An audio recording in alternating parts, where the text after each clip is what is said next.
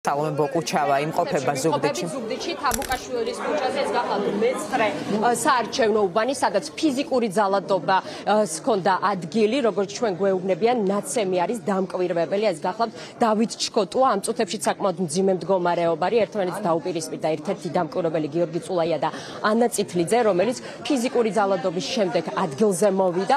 ხმის მიცემის პროცედურა საკმაოდ ხმაურიანად მიმდინარეობდა, ჩვენ თავისუფლად ჟურნალისტებს გადაადგილების შესაძლებლობა მშენებლობა არ ქონდა, გვეუბნებოდნენ რომ ტერიტორია უნდა დაგვეტოვებინა. ბოლო ინციდენტი მოხდა ანა წითლიძესა და გიორგი წულაიას შორის. მანამდე დამკვირვებელთან დაკავშირებით არასამთავრობო ორგანიზაცია ისფედის წარმომადგენელმა, რომელიც პროცესს აკვირდებოდა, განაცხადა, რომ ორ დამკვირვებელს დაატოვებინეს ტერიტორია, იქიდან ერთ-ერთი იყო ჩქოტუა, ჩქოტუა უთითებდა სხვა დამკვირვებლებს, რომ არ ეკონტროლებინათ ხმის მიცემის პროცესი, რა დროსაც იღო და ფარულობა სწორედ ამ ფაქტმა გამოიწვია.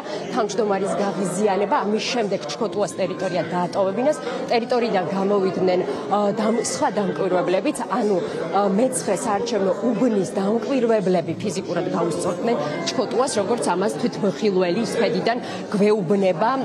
დაწერილია თუ არა საჩივარი უცნობია. თავად თანჯდომარის განცხადებით ორი ინციდენტს ჰქონდა ადგილის ერთი და იგივე ორგანიზაციის წევრებიდან. გიორგი ჩქოტუა მას არ უხსენებია ამის შემდეგ მოვიდნენ სხვადასხვა პარტიის წარმომადგენლები და დაიწყო კიდევ ერთი ინციდენტი წულაიასა და უკვე ანა წითლიძეს შორის ჩეხება დამკვირვებელი არღვევდა წეს. რეგისტრატორს უთითებდა აიდი ბარათის ჩამოსმაზე როცა ერთხელ მივეცით შენიშნა რომ ესე არ გააკეთო. ეს არის ელექტრონული არჩევნები პირველად ტარდება და ეხა აიდი ბარათი შემოbrunებულია თუ გადმოbrunებულია, იმას რეგისტრატორი თვითონ მიხვდება, გაასწორებდა და გააგზელებდა მუშაობას. ეს დაპირისპირება გარეთ იყო, აი აქ იყო, კარებთან იყო, მე არ გავსულ ვარ, უბანი არ დამიტოვებია და ვინ იყო, რა იყო, რაზე იჩხუბეს, მართლა არ ვიცი.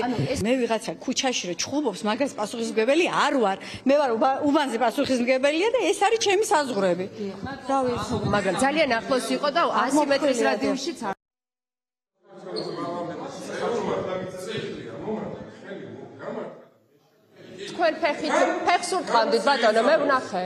გიორგი წულაიას ხედავთ ახლა კადრში რომელიც ამბობს რომელიც სახელი და გვარი გახდა სადაო საარჩევნო უბანზე. ყველა დამკვირვებელი რომელიც იმყოფება ადგილზე ამბობს რომ ის ჯიქია და მას თან აქვს ყალბი პირადობის დამადასტურებელი მოწყობა თავად წარმოადგინა პირადობა და აჩვენა მოქალაქეებს და თქვა რომ ეს მისი ნამდვილი და სახელი მისი ნამდვილი სახელი და გვარია მოკლედ ეს გახდა დავის ერთ-ერთი საგანი თუმცა რა არის რეალობა? ჯერჯერობით თუ ცნობია გარე პერიმეტრზე.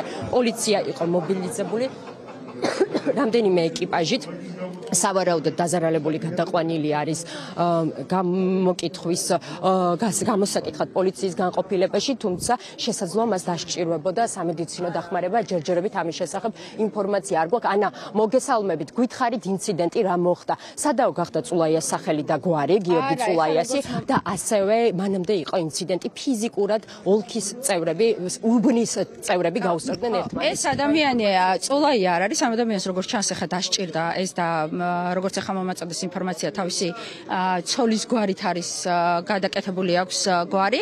გიორგი ჯიქია ეს ადამიანი რეალურად. და არა გიორგი წულაია ასეთად რა მნიშვნელობა აქვს? ახლა ეს კანონი არა ეს არსებითად ის მნიშვნელობა აქვს რომ იმტკიცებდა რომ არა ვარ გიორგი ჯიქიაო და ვიცნობთ ამ ადამიანს ეს ადამიანი ყველა არჩევნებზე მათ შორის ბოლო არჩევნებზეც მონაწილეობდა იმაში რომ ეს უბანი დაერბია. ბოლო არჩევნებზე ზუსტად ესე იქცეოდა. ეს ადამიანი ამ ადამიანზე გვაქვს ჩვენ აუდიო ვიდეო ჩანაწერები როგორ მონაწილეობს პირადობის მოწმობის ჩამორთმევაში და ასევე როგორ არიგებს ნარკოტიკულ საშუალებას და არის ქართული ოცნების ზონდერი, რომელიც ახლა ფიზიკურად გაუსწორდა დამკვირვებლებს, ადგილობრივ დამკვირვებლებს, ჩვენს დამკვირვებლებს, აქ ხელით შეეხო. ამა და მისი ერთადერთი მიზანი არის ახლა რომ ეს უბანი ჩაშალოს და მე პოლიციას მივმართე ახლა რომ გადაიყვანო ნარკოტიკულ ამაზე შემოწმებაზე, იმიტომ რომ მე დიდი ეჭვი მაქვს და ყველა მიცის რომ ეს არის ნარკოტიკული ზემოქმედების ქვეშ ხშირად ჩვენ თხოვაში, აი ახლა ისე არაადეკვატურად იქცევა რომ ეჭვი მაქვს ეხლა ძალადობის ცდელობა თქვენთან მიმართებაშიც იყო როგორც შევნიშნეთ დაადასტურეთ ამ ხო მე არ მიკვირს იმიტომ რომ ნუ ყველა ნახეთ ეხა იქ რაც ხდებოდა. არ მიკვირს ნამდვილად იმიტომ რომ იციან რომ წაგებული აქვს არჩევნები შესაბამისად არაადეკვატურები არიან. მე პირიქით მინდა მოუწოდო ეხა ყველას რომ ზუგდიდს იგებს ერთიანობა ნაციონალური მოძრაობა მოდით მშვიდად წყნარად არჩევნებზე და გააკეთეთ თქვენი არჩევანი ცხოვრებთან დაკავშირებით. ყველგან იგივე ხდება, ეხლა მე-12 უბანში არის ასევე ჩხუბი, როგორც ვიცი, იქაც ქართული ოცნების აა, ტიტუშკები არიან მისული, შესაბამისად ვაპირებ, რომ ეხლა წავიდე მე-12 უბანზე და ნახო რა ხდება.